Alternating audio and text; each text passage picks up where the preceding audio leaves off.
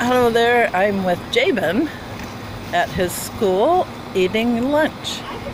And I know that his mom would love to see us eating. That's Jabin is having, he had french fries and chicken tenders and fruit, milk, and apple juice. And I had a grilled cheese and apple salad and pineapple orange drink.